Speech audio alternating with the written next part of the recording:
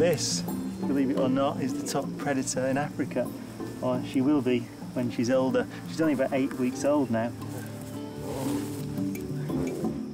Her body is built from a host of different molecules, and by far the most diverse group are known as proteins. You can see the proteins here.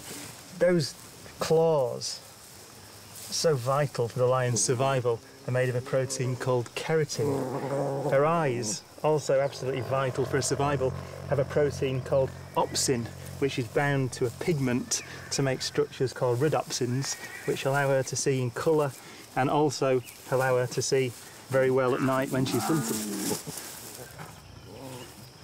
There are also proteins in her muscles. Myosin and actin, which are the things that allow her to run away.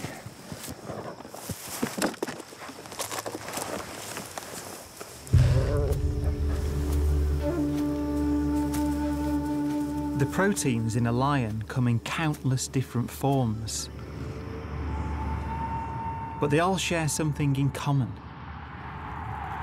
a backbone of carbon. An atom that's able to form long, complex molecules.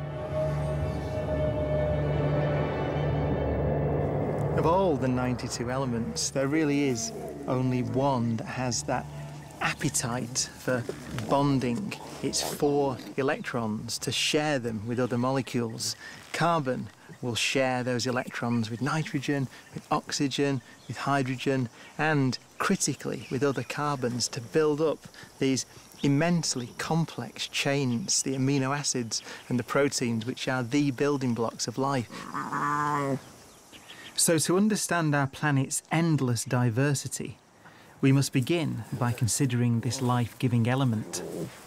I've got a few scratches now because of you, because of your proteins.